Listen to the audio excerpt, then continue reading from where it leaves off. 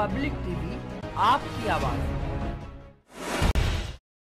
महिलाओं को राजनीति में भी आरक्षण देना चाह रही है, पर कितनी महिलाएँ तैयार है? आज भी हमने ऐसी बहुत सी महिला नेता देखते हैं, जो चुनाव जीत कर आ तो जाती है मगर कहीं ना कहीं परिवार का इन्फ्लुएंस रहता है। कहीं ना कहीं आप देखो कि उन महिलाओं के जो हस्बैंड है उनका इन्वॉल्वमेंट रहता है। वो खुद से डिसीज़न नहीं ले पा रही है। हमने बहुत जगह ऐसा देखा है कि जो नगर पालिका के चुनाव होते हैं तो अ, क्योंकि महिलाओं की सीट है इसलिए महिलाओं को टिकट दे दी जाती है महिलाएँ जीत भी जाती है। मगर डिसीज़न आज भी दरवाजे के पीछे से वही उनके घर के लोग कर रहे हैं। तो क्या सही मायनों में महिला सशक्त हुई है? हर जगह ऐसा नहीं, मगर कुछ जगह ऐसा है। तो केंद्र तो अपने लिए नीतियाँ नीतियाँ निकाल कर काम कर रहे हैं, मगर महिलाओं को खुद भी तो थोड़ा जागरूक होना पड़ेगा कंफर्ट जोन से बाहर निकलना पड़ेगा, समाज के हित में कार्य करने पड़ेंगे। और सबसे पहले, महिलाओं को महिला हित में कार्य करने पड़ेंगे। लव जिहाद पर आप देखो, सदन में कोई चर्चा नहीं कर रहा है। जो सबसे बड़ा इशू है विमेन सेंट्रिक इशू है, अगर इस देश में बेटियों को प्यार के नाम पर मारा जा रहा है, काटा जा रहा है, जलाया जा रहा है, बेचा जा रहा है प्रोस्टिट्यूशन में धकेला जा रहा है,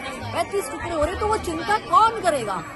महिला ही तो करेगी तो महिला का सम्मान यदि महिला खुद नहीं करेगी, महिला की सुरक्षा का दायित्व यदि महिला समाज खुद नहीं लेगा तो हम किसी और से कैसे अपेक्षा रख सकते हैं?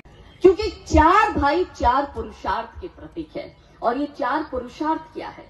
कि राम भगवान साक्षात धर्म के प्रतीक थे। राम भगवान के साथ वनवास कौन गए थे? लक्ष्मण जी। क्यों लक्ष्मण जी गए थे? क्योंकि लक्ष्मण जी काम के प्रतीक थे, यानी कि कर्म के। और कर्म सदैव धर्म के साथ रहता है, इसलिए राम जी के साथ लक्ष्मण जी वनवास गए थे। तो फिर प्रश्न ये आता है कि शत्रुघ्न कभी क्यों अयोध्या छोड़ के बाहर नहीं गए थे? वो सदैव अयोध्या में रहे थे, क्योंकि शत्रुघ्न अर्थ के प्रतीक थे, और अर्थ कभी भी यानी लक्ष्मी जो है, अर्थ जो है, वो कभी भी राजधानी छोड़ के बाहर नहीं जाता। इसीलिए शत्रुघ्न अपनी राजधानी छोड़कर बाहर नहीं गए थे। और चौथे भरत है, जो कि प्रतीक है मोक्ष के। और मोक्ष का प्रतीक क्यों उन्हें माना गया? है वो इसलिए कि मोक्ष की प्राप्ति के लिए आपको धर्म के किसी प्रतीक को बिठाकर उसको अपने आप को समर्पित करना पड़ेगा। इसलिए ही भरत ने प्रभु श्री राम जी की खड़ाऊ रखकर चौदह वर्ष तक ज़मीन पर बैठकर अपना राजपाट चलाया था, क्योंकि उस खड़ाऊ को उन्हें धर्म की प्रतीक समझकर उसकी भक्ति की थी। इसलिए भरत जो है, वो मोक्ष के प्रतीक रहे। अब रामायण में चार महिलाओं का तिरस्कार हुआ है। कौन है वो चार महिलाएँ? तो पहला नाम तो सीधा आता है मंथरा का। दूसरी, केकई। तीसरी ताड़का और चौथी सुरपनखा अब ये चारों महिला, यही मैं बता रही हूँ, इसी में ही आपको पूरा पता चलेगा कि धर्म क्या है, अधर्म क्या है, करना क्या चाहिए, क्या नहीं करना चाहिए। क्योंकि नारी शक्ति की बात हो रही है तो नारी शक्ति को क्या नहीं करना चाहिए, वो अब आपको इस संदर्भ से पता चलेगा कि मंत्रा जो है, वो लोभ की प्रतीक थी, केकई स्वार्थ की प्रतीक थी।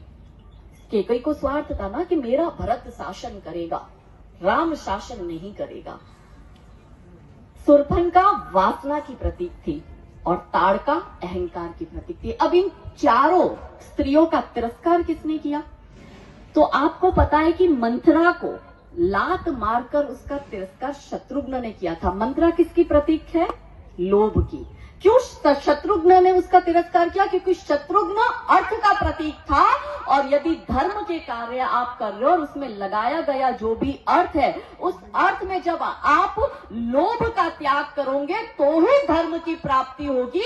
इसलिए शत्रुघ्न ने मंत्रा का त्याग किया था, यानी कि लोभ का त्याग अर्थ ने किया था।